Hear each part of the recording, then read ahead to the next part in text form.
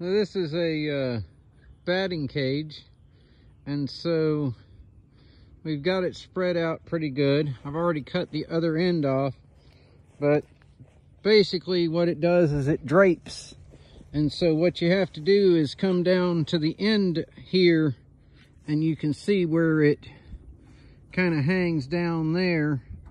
And then this is the end of it.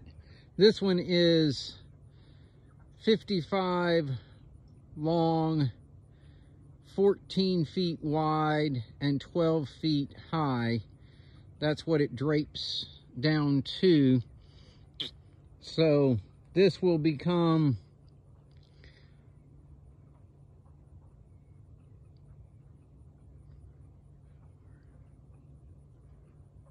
Thirty-eight feet wide and 55 feet long.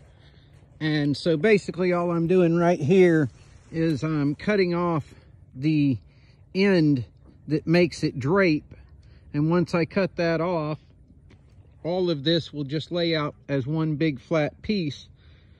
And then, like right now, I need about 10 feet wide by 20 or so feet long. So we're going to cut that out of this section and then we'll keep this piece over here for the opposite side and we'll have left over. But if you see this heavy duty rope here, gives you a really good area to attach with and it's one and three quarter inch um, but it's super heavy duty as you can see. That's my hand there and that's the size of it. Just a little bit of a what we're doing here and I'll make another one once I've got it set out flat